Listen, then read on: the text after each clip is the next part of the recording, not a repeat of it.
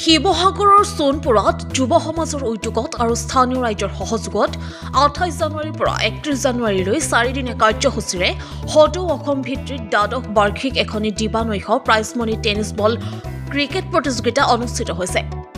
অসমৰ প্ৰায়সমূহ জিলাৰ পৰা বত্ৰিশটাকৈ দলে এই প্ৰতিযোগিতাত অংশগ্ৰহণ কৰিছে। চূড়ান্ত খেলৰ বিজয়ী দলক এক লাখ টকা আৰু ট্ৰফি পুৰস্কাৰ প্ৰদান কৰা হ'ব।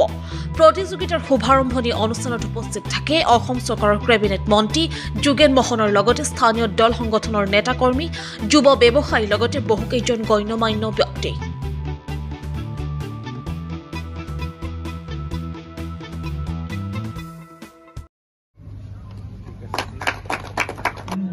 ডাঙৰীয়া এয়া বল দিব লৈছে আৰু বেটছমেন সাজু এটা বলত ছয় ৰাণৰ প্ৰয়োজন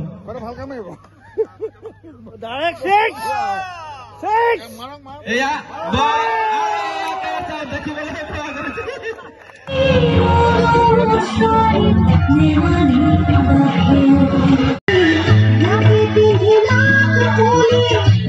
বুৰঞ্জী প্ৰসিদ্ধ সোণপুৰা এটি যুৱ সমাজ। তেওঁলোকৰ এই বাৰত বাৰ্ষিক ক্ৰিকেট খেল ডে নাইট আৰু প্ৰাইজমণি। খুব ঐতিহাসিক খেল এখন খুব আমোদজনক। আমি প্ৰতি বছৰে আহোঁ।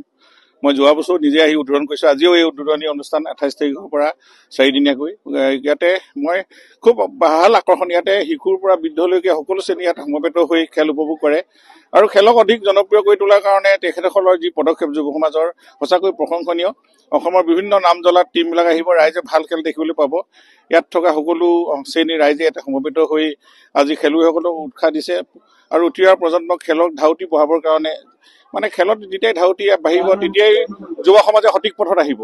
আৰু সমাজখনত আজি যুৱ সমাজৰ যি প্ৰয়োজন দেশ জাতি ৰাখিবৰ কাৰণে সেনেকৈ আৰু তেওঁলোকে প্ৰতিষ্ঠিত হ'ব। আৰু দেশৰ জাতি গৌৰৱ কঢ়িয়াই আনিব। এজন সুদক্ষ খেলুৱৈ জাতিৰ গৌৰৱ দেশৰ সম্পদ আমি কওঁ। গতিকে এনেকুৱা ধৰণে যে আমি ৰাজ্যখন ক্ৰীড়া ক্ষেত্ৰত আমি আগবঢ়াই নিব লাগিব। আৰু এনেকুৱা ধৰণৰ যুৱ সংঘবিলাকে ধৰি ৰাখিছে গতিকে তেখেতসকলক মই ভৱিষ্যত উজ্জ্বল কামনা কৰিছোঁ। আৰু এনেধৰণৰ খেল অনু- অনুষ্ঠিত কৰি থকা অকল ক্ৰিকেটে নহয় আৰু অন্যান্য খেলতো তেওঁলোকে গুৰুত্ব দিয়ক যাতে উঠি অহা প্ৰজন্মক আমি খেলত আমি অসম তথা ভাৰতবৰ্ষত উজ্বলাবৰ কাৰণে আমাৰ ইয়াৰ পৰা সৃষ্টি হ'ব। নিঃসন্দেহে আমি এই কথা আশা দেখিছোঁ। আৰু যুৱ সমাজবিলাকৰ এনেকুৱা ধৰণৰ পদক্ষেপে আমাৰ জাতিটোক ৰক্ষাও কৰিব। পোনপ্ৰথমে মই সোণপুৰা যুৱ সমাজৰ উদ্যোগত আৰু স্থানীয় ৰাইজৰ সহযোগত বুৰঞ্জী প্ৰসিদ্ধ এই গড়গাঁও অঞ্চলটোত আজি যি এই চাৰিদিনীয়া কাৰ্যসূচীৰে দিবানৈক্ষ যি টেনিছ টেনিছ ক্ৰিকেট বল যি খেলৰ প্ৰতিযোগিতাখন যি আজি শুভ উদ্বোধন হ'ল আমাৰ অসমৰ কেন্দ্ৰীয় মন্ত্ৰী যোগেন মোহন ডাঙৰীয়া দেৱে তেখে আহি তেখেতে আহি আজি এই খেলখন শুভ উদ্বোধন কৰে। আৰু এই খেলখনত আমাৰ অসমৰ বিভিন্ন জিলাৰ পৰা বত্ৰিশটা দলে ইয়াত অংশগ্ৰহণ কৰিব। আৰু ইতিপূৰ্বে আমাৰ যি ৰেজিষ্ট্ৰেশ্যন যি প্ৰক্ৰিয়া এই ৰেজিষ্ট্ৰেশ্যন প্ৰক্ৰিয়াত আমাৰ ত্ৰিছটা দলৰ নাম অন্তৰ্ভুক্ত হৈছে। আৰু আমাৰ এই খেলখন সুদূৰ তাত সুদূৰ বাৰটা বছৰ এঘাৰটা বছৰ অতিক্ৰম কৰি এতিয়া বাৰ বছৰত ভৰি দিলেহি। আৰু অতি অতি নিয়াৰিকৈ আৰু অতি সুন্দৰভাৱে আমাৰ এই খেলখন আমি যোৱা দহটা এঘাৰটা বছৰে আমি পাতি আহিছোঁ। আৰু বিভিন্ন ৰাজনৈতিক দলৰ লগতে সমাজৰ গণ্যমান্য ব্যক্তিকে আদি কৰি দল সংগঠনৰ সকলো বিষয়ববীয়া আমাৰ এই খেলখনত উপভোগ কৰিবলৈ আহে। আৰু এই খেলখনৰ ইয়াত কোনো জাতি ধৰ্ম ভাষা বৰ্ণ বুলি কোনো কথা নাই। আৰু খেল সঁচাকেই সকলোৰে প্ৰিয়। খেলে এখন সমাজ গঢ়াৰ লগতে এজন সুন্দৰ খেলুৱৈ গঢ়াৰ লগতে খেলে।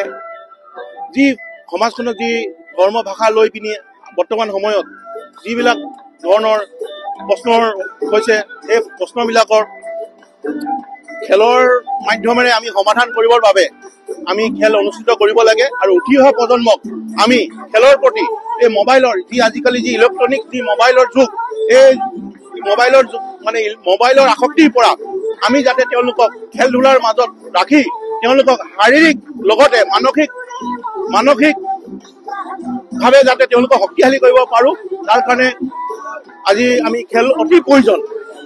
আৰু আমাৰ এই খেলখনত আমাৰ বিজয়ী দলক প্ৰথম বিজয়ী দলক আমি দুই লাখ টকা প্ৰাইজ মানি আমি ৰাখিছোঁ আৰু দ্বিতীয় বিজয়ী দলক আমি এক লাখ টকাৰ প্ৰাইজ মানি ৰখা হৈছে।